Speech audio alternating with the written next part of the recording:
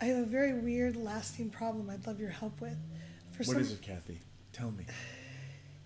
I have many problems with this. This is from one of our, our viewers. Um, what is it? Tell me.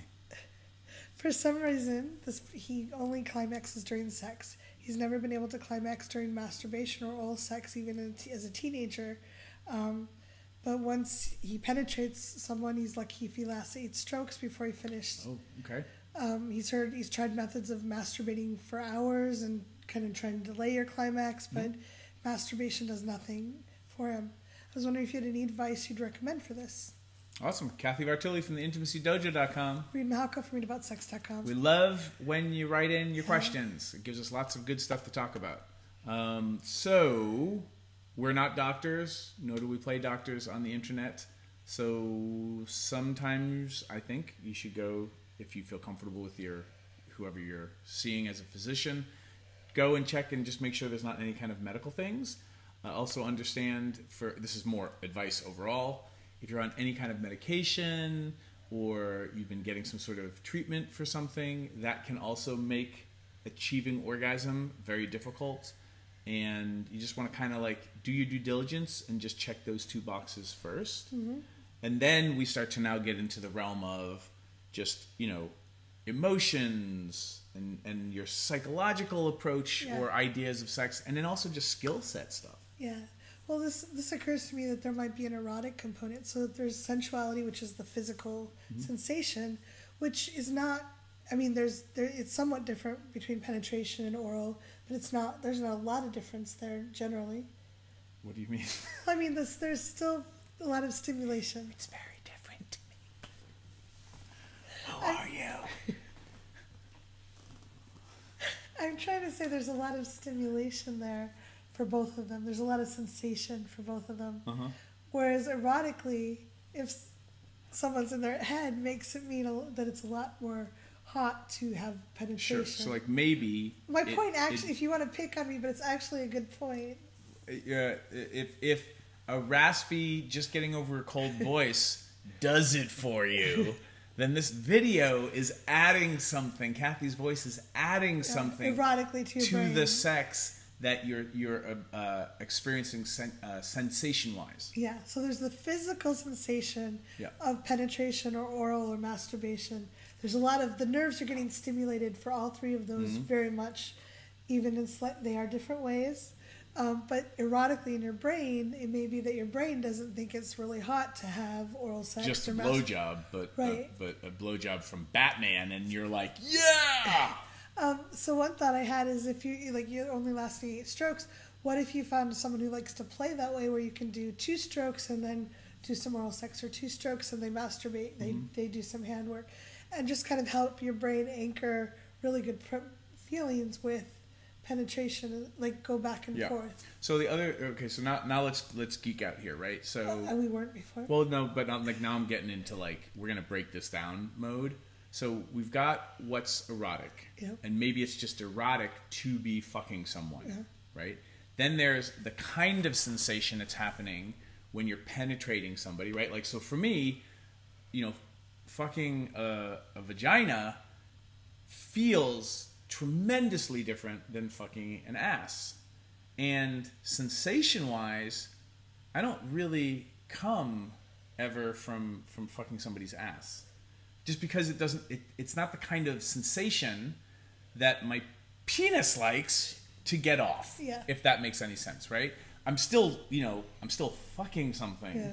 but it's not it's it's just different yeah. and that's not so much and, and maybe it's a little bit of it's erotic but as a nerd i can be like okay so let's put the erotic to the side and like i'm just dealing with the sensation right that's all yeah. but for somebody else oh my God, you're letting me fuck your ass is so hot, yeah. it doesn't matter what the sensation is. So when you start breaking things down from this perspective, also taking into consideration that masturbating, you're touching yourself. Yeah. So the biofeedback is just very different sensation wise than when somebody else is giving you a hand job. This, yep. What I'm curious about is as a, as somebody who knows that they come and, and comes very quickly in this scenario from penetrating a vulva, I want to know what your experience is masturbating with a fleshlight. Either a fleshlight or there's a masturbation sleeve called Bluet. Those two I would recommend for you to experiment on because they feel very close to what penetrating uh, a pussy feels like in my experience. I mean, they're different, but it's, it's a lot closer than getting a blowjob. And the way that they're made, there's a little, there's some cushion because there's they're about you know three or four inches in diameter, the part that you're fucking. So there's that kind of you can you can hump it and grind it. Um, whereas other masturbation sleeves, it's really like you you you're using your hand to squeeze yeah. the sleeve, and I wouldn't recommend that for this experiment. Um, if you have the money to buy a fleshlight uh, or a Bluet, I would say get one. And then when you try it, use lube, but take the the squishy part out of the container and soak it in body temperature hot water for like five minutes and let it get body temperature. Then tell me what you got going on because I'm really curious it, how the sensation tracks. Yeah. And if you can come using a fleshlight or Bluet, um, then you can practice humping it and trying to learn how not to ejaculate too quickly. Yeah. This is about breathing. This is about different body positions. This is about you know you starting to practice now how to um, learn ejaculation control. And if uh, that's something I talk a little bit about, or a lot about in some ways, in my Sex 10x online course, which you can go check out at uh, www.sex, the number 10, xonline.com. Did you want to add anything um, um, just, or advice as, as a receiver? Um, I think just if you talk to your partner about it, that you want to try different things and, you know, just uh, penetrating twice and then either touching yourself or having her touch you, just kind of changing the, the, the energy around might mm-hmm. be really curious. It might be really fun for both of you and allow you to associate that turn on with other things. Yeah, and if it's erotic too, and you have a partner to, to practice with, um, try. This is going to sound so weird, but but uh, when you wrap your head around it, so for me, I'm not really into into asses. Right. Like I like butts, but I'm not like into ass fucking. So me jerking off with somebody's ass right there isn't like, oh yeah. However, I'm really into pussy. So if I'm jerking off and your vagina's right there, and I'm like, yeah, like, oh my goodness, my brain is going nuts.